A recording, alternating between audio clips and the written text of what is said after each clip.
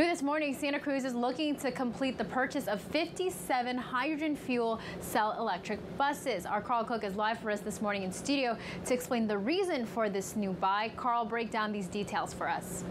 So to understand how important Santa Cruz believes in these buses, this purchase is the single largest of that type of vehicle in the nation. It'll also make up more than half of the Metro's fleet once that buy is complete. Now this is to meet the state's goal that requires Metro to operate only zero emission vehicles by 2040. Officials say the benefit of hydrogen fuel compared to electric breaks down to a few things like more fuel mileage and better capital costs. Now the money will be coming from state and federal grants and other funds will also be coming from state vouchers and settlement funds. Now, we are working on getting a statement from the Santa Cruz Metro before this morning, and we will bring that to you once we get it. Anna, back to you. All right, thanks so much for that, Carl. Now, back in July, Metro received a grant worth a little over $20 million. This came after receiving a state grant totaling $38.5 million in April.